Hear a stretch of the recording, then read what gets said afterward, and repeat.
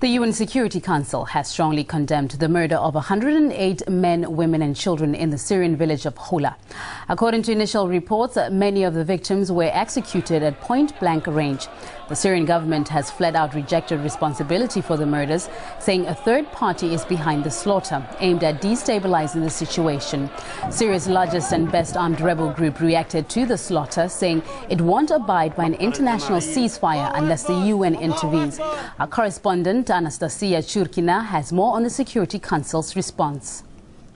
United Nations Security Council members cut their weekend short to hold a three hour closed door emergency meeting on the latest developments in Syria, where on Friday, in uh, the bloodiest massacre since the anti government clashes started on the ground a year ago, took place where over 100 people were killed, including dozens of women and children. Prior to the meeting, Britain and France were calling for Security Council members to adopt a joint press statement pointing the fingers at the Syrian government. Russia, however, who previously vetoed a regime change resolution on Syria, said it would prefer to wait to hear what the head of the UN observer mission in Syria had to say, and this is why the meeting was adjourned. Now, after the meeting, a joint press statement of United Nations Security Council members was released. The Security Council has condemned these violence, violent killings, which included artillery and tank shellings. The Security Council says this is a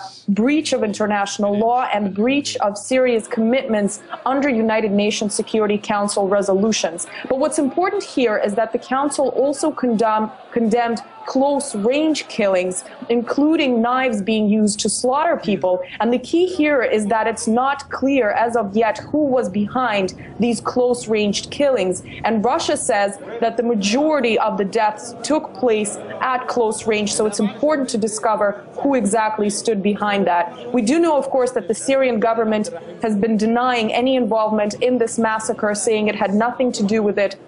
We have heard from the deputy Russian foreign minister say earlier that uh, a clear and careful investigation into this massacre has to take place, and the United Nations Observer Mission is currently conducting such an investigation.